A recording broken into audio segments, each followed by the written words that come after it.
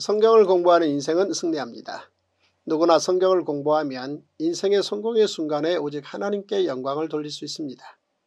누구나 성경을 공부하면 인생의 실패의 순간에도 하나님의 긍휼로 새롭게 시작할 수 있습니다. 여기 여러분의 성경을 쉽고 재미있는 이야기로 도울 수 있는 큰 글자 통독 성경이 있습니다. 역사순 1년 1독으로 출간된 세계 유일한 통독 성경입니다. 오늘 또 역사순 큰 글자 통독 성경으로 시작하겠습니다. 오늘의 굿뉴스 열왕기하 24장과 예레미야 1장에서 3장의 통습 5가지 포인트를 먼저 읽어드리겠습니다. 첫 번째 포인트 하나님께서는 예레미야 선지자를 통해 왕정 500년에 대한 총평가를 하십니다. 왕정 500년에 대한 3단계의 경영평가입니다. 1단계는 사무엘에 의한 왕정 경영평가 예고였습니다. 2단계는 이사야에 의한 왕정 경영 중간평가로 북이스라엘은 멸망시키고 남유다는 남기시겠다는 것입니다. 3단계는 예레미야에 의한 왕정 경영 총평가로 레위기에 기록된 제사장 나라 경영 원칙대로 이제 남유다 왕정을 거두어 이스라엘 500년 왕정을 모두 종료시키겠다는 것입니다.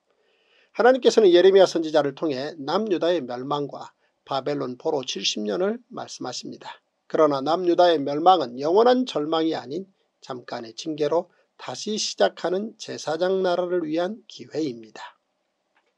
두 번째 포인트 열왕기하 24장과 예레미야 1장에서 38장까지는 통으로 공부해야 합니다. 남유다 말기의 역사이자 그 시기에 활동한 예레미야 선지자의 이야기인 열왕기하 24장과 예레미야를 이어서 통독합니다.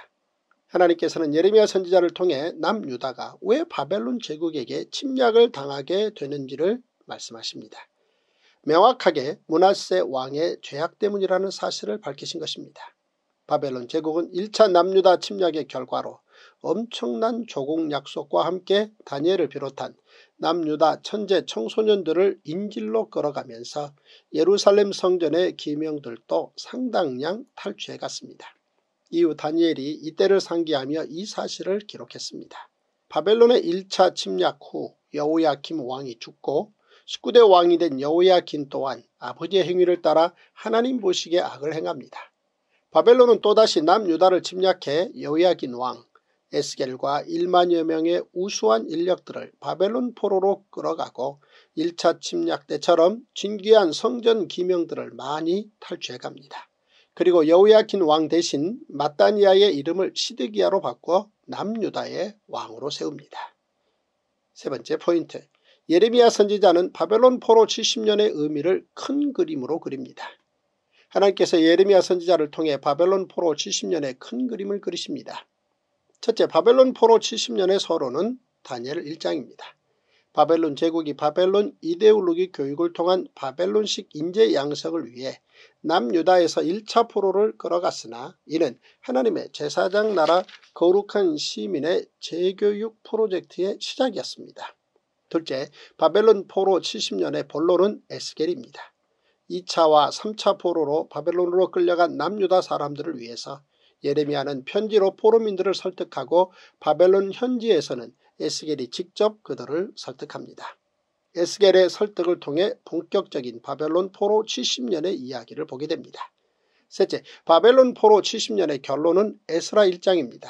BC 537년 바벨론이 멸망하고 페르시아 제국의 포로 귀환 정책으로 남유다 백성들도 70년 만에 예루살렘으로 돌아가게 됩니다. 하나님께서 예레미야를 통해 하신 말씀이 성취되는 장면입니다. 예레미야 선지자는 곧 임하게 될 하나님의 심판을 앞두고 이미 기울어진 민족의 운명을 직시하고 민족의 장래를 위해 북방으로부터 내려오는 강력한 힘에 항복하라고 외쳤던 외로운 선지자였습니다. 예레미야의 말 가운데 나는 아이라에서 아이는 히브리어로 나르입니다. 나르는 유년기에서 청년기까지 광범위하게 표현되는 단어이지만 예레미야 선지자가 제사장의 사역 시기인 30세가 아닌 약 20세의 소명을 받았기에 표현된 말이었을 것입니다.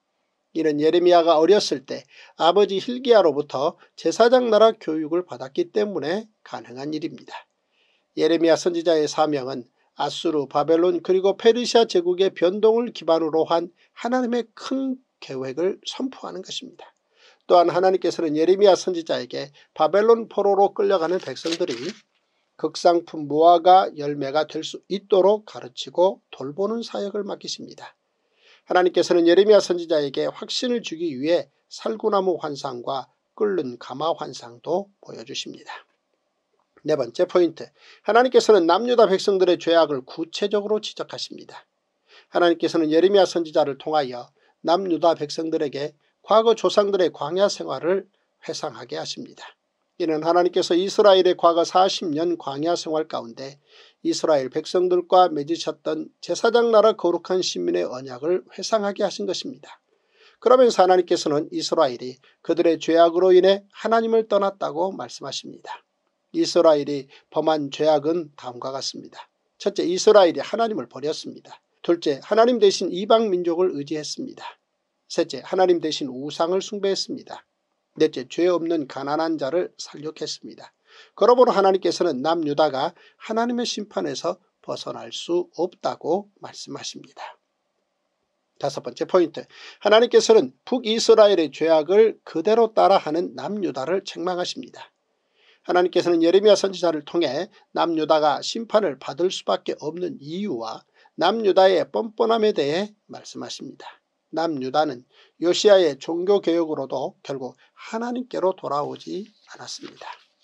남유다의 죄를 나열하신 하나님께서는 결국 남유다가 그들의 죄로 인해 처벌을 받을 것이지만 후에 그들이 다시 회개하고 하나님께로 돌아오게 될 것이고 예루살렘에서 번성하게 될 것이라는 미래의 말씀도 주십니다. 하나님의 모든 말씀을 전한 예레미야 선지자가 남유다 백성들에게 진심으로 회개를 촉구합니다. 모든 성경은 유익합니다. 세상 예화나 성경 요절주의, 권별주의는 끝내 성경을 어렵게 합니다. 모든 성경을 모든 가정에서 다섯 살부터 통성경 스토리로 듣게 되면 성경은 곧 쉽고 재미있는 책이 될 것입니다. 모든 성경 이야기에는 첫째 하나님의 법, 둘째 하나님의 극률, 셋째 하나님의 기적이 들어있습니다. 그러므로 성경 한 권이면 충분합니다. 와우! 제202일 열왕기하 24장 여호야김 시대에 바벨론의 왕 느부갓네살이 올라오매 여호야김이 3년간 섬기다가 돌아서 그를 배반하였더니 여호와께서 그의 종 선지자들을 통하여 하신 말씀과 같이 갈대아의 부대와 아람의 부대와 모압의 부대와 암몬 자손의 부대를 여호야김에게로 보내 유다를 쳐 멸하려 하시니 이 일이 유다의 임함은 곧 여호와의 말씀대로 그들을 자기 앞에서 물리치고자 하심이니 이는 문하세에 지은 모든 죄 때문이며 또 그가 무대한 자의 피를 흘려 그의 피가 예루살렘에 가득하게 하였습니다. 여호와께서 사하시기를 즐겨하지 아니하시니라. 여호야김의 남은 사적과 행한 모든 일은 유다왕 역대지략에 기록되지 아니하였느냐. 여호야김이 그의 조상들과 함께 잠에 그의 아들 여호야긴이 대신하여 왕이 되니라. 애굽 왕이 다시는 그 나라에서 나오지 못하였으니 이는 바벨론 왕이 애굽 강에서부터 유브라데 강까지 애굽 왕에게 속한 땅을 다 점령하였습니다라. 여호야긴이 왕이 될 때 나이가 18세라 예루살렘에서 석 달간 다스리니라. 그의 어머니의 이름은 느후수다요 예루살렘 엘라단의 딸이더라. 여호야긴이 그의 아버지의 모든 행위를 따라서 여호와께서 보시기에 악을 행하였더라. 그때 바벨론의 왕 느부갓네살의 신복들이 예루살렘에 올라와서 그 성을 애워싸니라. 그의 신복들이 애워쌀 때에 바벨론의 왕 느부갓네살도 그 성에 이르니 유다의 왕 여호야킨이 그의 어머니와 신복과 지도자들과 내시들과 함께 바벨론 왕에게 나아가매 왕이 잡으니 때는 바벨론의 왕 여덟째 해이라. 그가 여호와의 성전의 모든 보물과 왕궁 보물을 집어내고 또 이스라엘의 왕 솔로몬이 만든 것 곧 여호와의 성전의 금그릇을 다 파괴하였으니 여호와의 말씀과 같이 되었더라. 그가 또 예루살렘의 모든 백성과 모든 지도자와 모든 용사 만명과 모든 장인과 대장장이를 사로잡아가매 비천한 자 외에는 그 땅에 남은 자가 없었더라. 그가 여호야킨을 바벨론으로 사로잡아 가고 왕의 어머니와 왕의 아내들과 내시들과 나라의 권세 있는 자도 예루살렘에서 바벨론으로 사로잡아 가고 또 용사 7천명과 장인과 대장장이 1천명 곧 용감하여 싸움을 할 만한 모든 자들을 바벨론 왕이 바벨론으로 사로잡아 가고 바벨론 왕이 또 여호야킨의 숙부 마따니아를 대신하여 왕으로 삼고 그의 이름을 고쳐 시드기야라 하였더라. 시드기야가 왕이 될 때 나이가 21세라 예루살렘에서 11년간 다스리니라. 그의 어머니의 이름은 하무다리요 림나인 예레미야의 딸이더라. 그가 여호야김의 모든 행위를 따라 여호와 보시기에 악을 행한지라 여호와께서 예루살렘과 유다를 진노하심이 그들을 그 앞에서 쫓아내실 때까지 이르렀더라. 시드기야가 바벨론 왕을 배반하니라. 예레미야 1장 베냐민 땅 아나도세 제사장들 중 힐기야의 아들 예레미야의 말이라.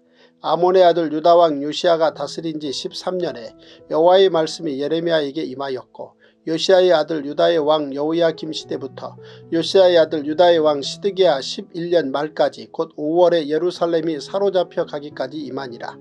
여호와의 말씀이 내게 임하니라 이르시되 내가 너를 모태에 짓기 전에 너를 알았고 내가 배에서 나오기 전에 너를 성별하였고 너를 여러 나라의 선지자로 세워놓라 하시기로 내가 이르되 슬프도 소이다 주 여호와여 보소서 나는 아이라 말할 줄을 알지 못하나이다 하니 여호와께서 내게 이르시되 너는 아이라 말하지 말고 내가 너를 누구에게 보내든지 너는 가며 내가 내게 무엇을 명령하든지 너는 말할지니라 너는 그들 때문에 두려워하지 말라. 내가 너와 함께하여 너를 구원하리라. 나 여호와의 말이니라 하시고 여호와께서 그의 손을 내밀어 내 입에 대시며 여호와께서 내게 이르시되 보라 내가 내 말을 내 입에 두었노라. 보라 내가 오늘 너를 여러 나라와 여러 왕국 위에 세워 내가 그것들을 뽑고 파괴하며 파멸하고 넘어뜨리며 건설하고 심게 하였느니라 하시니라 여호와의 말씀이 또 내게 임하니라. 이르시되 예레미야야 내가 무엇을 보느냐 하심에 내가 대답하되 내가 살구나무 가지를 보나이다. 여호와께서 내게 이르시되 내가 잘 보았도다. 이는 내가 내 말을 지켜 그대로 이루려 함이라 하시니라. 여호와의 말씀이 다시 내게 임하니라. 이르시되 내가 무엇을 보느냐? 대답하되 끓는 가마를 보나이다 그 윗면이 북에서부터 기울어졌나이다 하니 여호와께서 내게 이르시되 재앙이 북방에서 일어나 이 땅의 모든 주민들에게 부어지리라. 내가 북방 왕국들의 모든 족속들을 부를 것인즉 그들이 와서 예루살렘 성문 어귀에 각기 자리를 정하고 그 사방 모든 성벽과 유다 모든 성읍들을 치리라. 여호와의 말이니라. 무리가 나를 버리고 다른 신들에게 분양하며 자기 손으로 만든 것들에 절하였은즉 내가 나의 심판을 그들에게 선고하여 그들의 모든 죄악을 징계하리라. 그러므로 너는 내 허리를 동이고 일어나 내가 내게 명령한 바를 다 그들에게 말하라. 그들 때문에 두려워하지 말라. 내가 그들 앞에서 두려움을 당하지 않게 하리라. 보라 내가 오늘 너를 그 온 땅과 유다 왕들과 그 지도자들과 그 제사장들과 그 땅 백성 앞에 견고한 성읍 쇠기둥 노성벽이 되게 하였은즉 그들이 너를 치나 너를 이기지 못하리니 이는 내가 너와 함께하여 너를 구원할 것임이니라. 여호와의 말이니라. 예레미야 2장 여호와의 말씀이 내게 임하니라 이르시되 가서 예루살렘의 귀에 외칠지니라. 여호와께서 이와 같이 말씀하시기를 내가 너를 위하여 내 청년 때의 인애와 내 신혼 때의 사랑을 기억하노니 곧 씨 뿌리지 못하는 땅 그 광야에서 나를 따랐음이니라. 이스라엘은 여호와를 위한 성물 곧 그의 소산 중 첫 열매이니 그를 삼키는 자면 모두 벌을 받아 재앙이 그들에게 닥치리라. 여호와의 말씀이니라. 야곱의 적과 이스라엘의 집 모든 족속들아 여호와의 말씀을 들으라 나 여호와가 이와 같이 말하노라. 너희 조상들이 내게서 무슨 불의함을 보았기에 나를 멀리하고 가서 헛된 것을 따라 헛되이 행하였느냐. 그들이 우리를 애굽 땅에서 인도하여 내시고 광야 곧 사막과 구덩이 땅 건조하고 사망의 그늘진 땅 사람이 그곳으로 다니지 아니하고 그곳에 사람이 거주하지 아니하는 땅을 우리가 통과하게 하시던 여호와께서 어디 계시냐 하고 말하지 아니하였도다. 내가 너희를 기름진 땅에 인도하여 그것의 열매와 그것의 아름다운 것을 먹게 하였거늘 너희가 이리로 들어와서는 내 땅을 더럽히고 내 기업을 역겨운 곳으로 만들었으며 제사장들은 여호와께서 어디 계시냐 말하지 아니하였으며 율법을 다루는 자들은 나를 알지 못하며 관리들도 나에게 반역하며 선지자들은 바알의 이름으로 예언하고 무익한 것들을 따랐느니라. 그러므로 내가 다시 싸우고 너희 자손들과도 싸우리라. 여호와의 말씀이니라. 너희는 기띔 섬들에 건너가 보며 계달에도 사람을 보내 이 같은 일이 있었는지를 자세히 살펴보라. 어느 나라가 그들의 신들을 신 아닌 것과 바꾼 일이 있느냐. 그러나 나의 백성은 그의 영광을 무익한 것과 바꾸었도다. 너 하늘아 이 일로 말미암아 놀랄지어다 심히 떨지어다 두려워할지어다 여호와의 말씀이니라. 내 백성이 두 가지 악을 행하였나니 곧 그들이 생수에 근원되는 나를 버린 것과 스스로 웅덩이를 판 것인데 그것은 그 물을 가두지 못할 터진 웅덩이들이니라. 이스라엘이 종이냐 씨종이냐 어찌하여 포로가 되었느냐 어린 사자들이 그를 향하여 부르짖으며 소리를 질러 그의 땅을 황폐하게 하였으며 그의 성읍들은 불타서 주민이 없게 되었으며 높과 다바네스의 자손도 내 정수리를 상하였으니 내 하나님 여호와가 너를 길로 인도할 때 내가 그를 떠남으로 이를 자취함이 아니냐. 내가 시월의 물을 마시려고 애굽으로 가는 길에 있으면 어찌 됨이며 또 내가 그 강물을 마시려고 아수르로 가는 길에 있으면 어찌 됨이냐. 내 악이 너를 징계하겠고 내 반역이 너를 책망할 것이라. 그런즉 내 하나님 여호와를 버림과 내 속에 나를 경외함이 없는 것이 악이요 고통인 줄 알라 주 만군의 여호와의 말씀이니라 내가 옛적부터 내 명예를 꺾고 내 결박을 끊으며 말하기를 나는 순종하지 아니하리라 하고 모든 높은 산 위에서와 모든 푸른 나무 아래에서 너는 몸을 굽혀 행음하도다. 내가 너를 순전한 참 종자 곧 귀한 포도나무로 심었거늘 내게 대하여 이방 포도나무의 악한 가지가 되면 어찌 됨이냐. 주 여호와의 말씀이니라.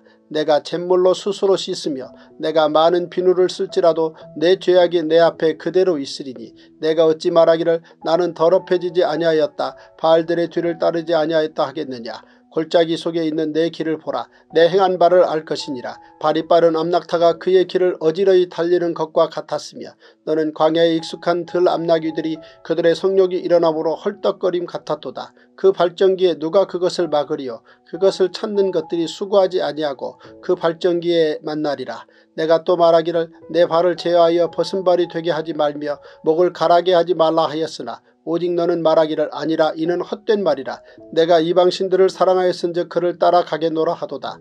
도둑이 붙들리면 수치를 당함같이 이스라엘 집 곧 그들의 왕들과 지도자들과 제사장들과 선지자들이 수치를 당하였느니라. 그들이 나무를 향하여 너는 나의 아버지라 하며 돌을 향하여 너는 나를 낳았다 하고 그들의 등을 내게로 돌리고 그들의 얼굴은 내게로 향하지 아니하다가 그들이 환란을 당할 때에는 이르기를 일어나 우리를 구원하소서 하리라. 너를 위하여 내가 만든 내 신들이 어디 있느냐. 그들이 내가 환란을 당할 때에 구원할 수 있으면 일어날 것이니라. 유다여 너의 신들이 너의 성읍수와 같도다. 너희가 나에게 대항하면 어찌 됨이냐. 너희가 다 내게 잘못하였느니라. 여호와의 말씀이니라. 내가 너희 자녀들을 때린 것이 무익함은 그들이 징계를 받아들이지 아니함이라. 너희 칼이 사나운 사자같이 너희 선지자들을 삼켰느니라.